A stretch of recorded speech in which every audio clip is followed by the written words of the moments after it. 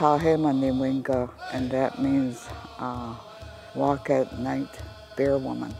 I was elected uh, president in 1991. In 1994, the um, Constitution was revised from 1963 and the name was changed back to our name for ourselves, the Ho-Chunk Nation. I think we're the only tribe that has the general council within the structure of our constitution. We have this, this separate branch of government where the people can, can make policy and they can, they can help change direction for the entire nation if they're assembled and if they make quorum they, they obtain that power. Quorum is defined by a percentage of tribal members. It all depends on what our tribal member enrollment numbers are. If we don't reach quorum, we aren't able to have a meeting then. We have to pack everything back up and wait another year. Once we're there at the meeting, day of the meeting, at 8 o'clock in the morning, this past meeting, we opened up registration. Um, that was when tribal members were able to come in and receive their voting cards. Then they use their voting cards into a little device later on throughout the meeting to place their votes on resolutions that are, that are brought to them. We have our prayer that kind of sets the tone for our meeting.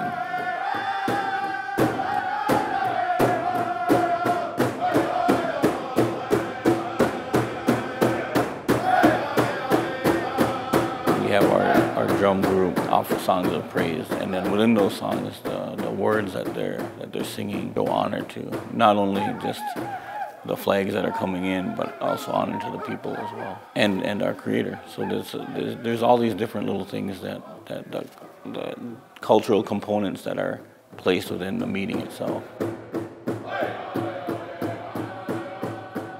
Once we reach quorum, then we're able to proceed. We need 1256 to be voting, period.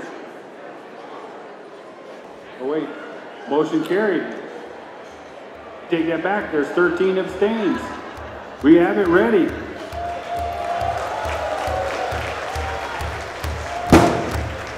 All right. Each of the people who recommend the um, resolutions are to speak or argue before the General Council why they should uh, accept those resolutions. And then whoever wants to object to it, then they also have their say. We could look at amendment to law. We could look at changing the Constitution, reverse some judicial rulings, not all, just a, select few. They're able to to establish policy for the nation. So what that policy has to be embodied in a resolution. And then the resolution has to make sure that it doesn't violate the Constitution or, you know, state and federal laws as well. So it can't, it can't go out of bounds too far. You know, it's got to be within what we can actually do legally. General Council's always been General Council. Even in the old historical days, the people would gather and they would meet in council even when they were doing treaties. And the people would decide. The General Council branch is, it, it empowers the people to have, to have a voice.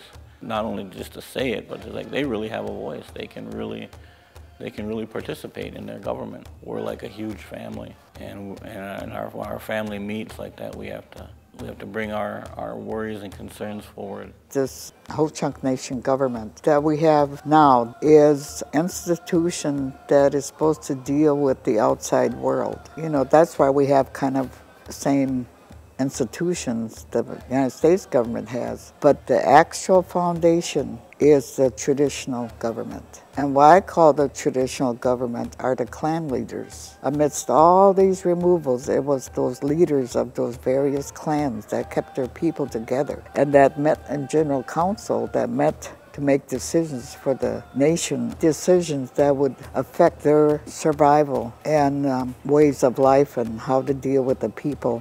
That's the foundation of our nation. We had to subdue to it as a defeated people. Our spirits weren't defeated, but as far as uh, territory, land, things of that nature, a lot of it was taken from us. So that little bit of sovereignty that we're, we're given back, we try to use it in a, in a good way. We try to use it in a positive manner so that we can have something and we can, we can solidify that we were here. This is, this is where we lived.